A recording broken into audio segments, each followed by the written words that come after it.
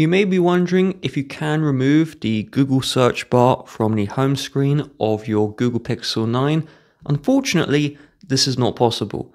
So Google have modified their stock Android to intentionally block the option. So if I long press here, there's no option to remove. Now I'll show you another stock Android phone. So this is a, I think this is a Sony and Asus even. So you just long press on Google and you see that remove option. I can drag into remove, it will remove the search bar. On the Sony phones, you could long press on the empty space of your home screen and then inside of the home screen settings, there'd be that Google search bar option. However, Google have just completely removed any way to remove the search bar. So while this phone does run stock Android, Google just removes random features and one of them is removing the search bar. Now, if you do want to remove the search bar, you could, if you really wanted to, change the home screen launcher.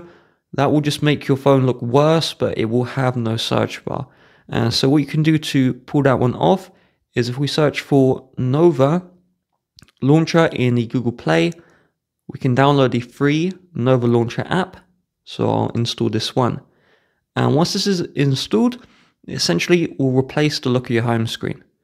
So I'll skip the setup and I'll open the Nova.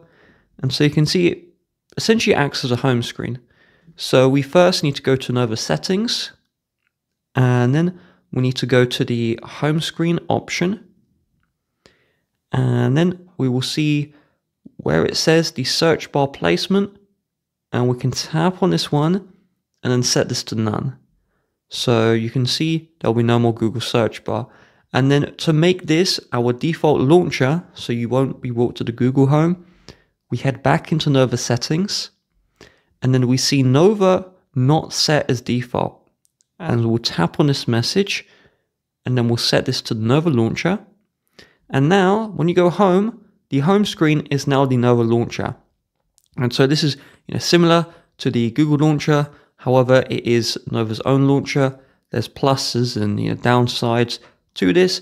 If you don't like Nova Launcher and you just want to head back, then you head to the Nova settings and then we'll scroll all the way down and we see select default launcher. We'll tap on this one and then we'll set this back to the Pixel launcher and there we go. But again, that search bar is going to be back.